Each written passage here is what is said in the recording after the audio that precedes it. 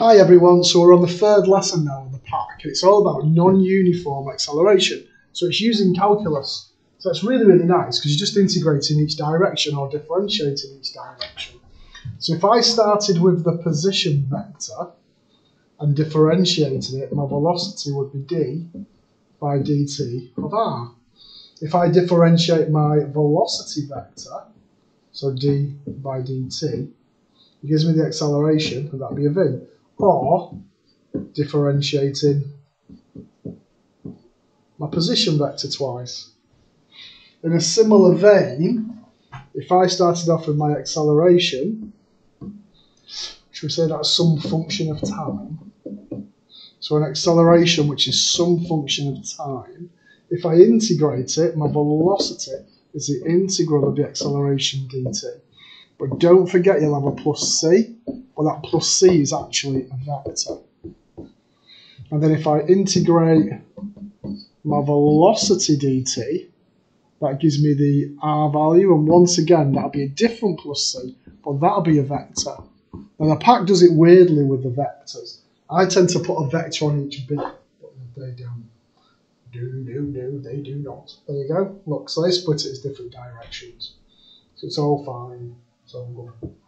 Right, so then it says a particle is moving in a vertical plane so that at time t seconds it has a velocity v, where v is 8 plus 2t i t cubed minus 6t. Now if you look, the big difference here is that it's in terms of time, so it's got t's in it, got t in it, which means it varies with time.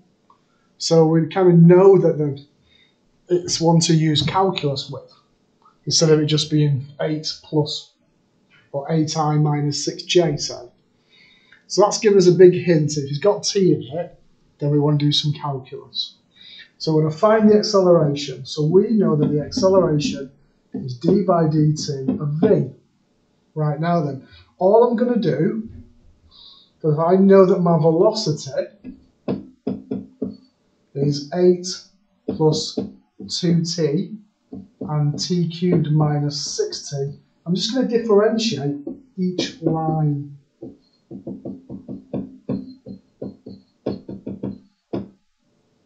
So my, that should be an A, that should yeah, no, that's my B, sorry. So my acceleration, if I differentiate 8 plus 2t with respect to t, it's just 2. If I differentiate t cubed minus 6t, it's 3t squared minus 6. And that's my acceleration done. Job jobbed. Part B says, show that the position vector of a particle when t is 4, uh, oh sorry, just from t is 4 is that. Right, okay. So let's have a look then. So part B, I'm looking at a position vector. So r is an integral of v dt. So I'm going to be careful how I do this so I'm integrating 8 plus 2t and t cubed minus 6t.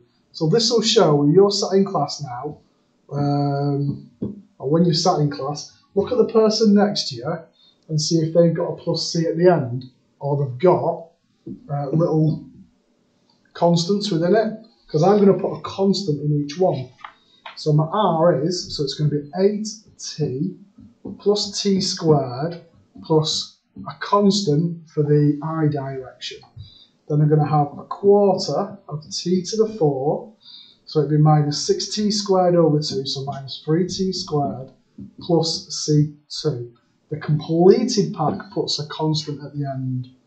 So let's see, have a look at the person next to you in class. See if they've used my videos or copied off the completed pack. Now I've got to find my c value and it tells you when t is 2, the position vector is 10, 3. So for t is 2, r is 10, 3. So let's have a look at the top line. 10 is 8 lots of 2 plus 2 squared plus c1.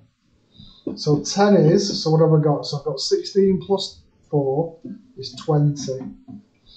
That's C1. So C1 is minus 10. Let's look at the bottom line.